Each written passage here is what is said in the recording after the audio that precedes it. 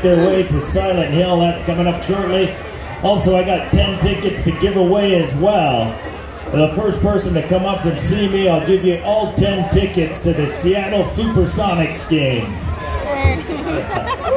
Silent Hill, take it away, Intertribal.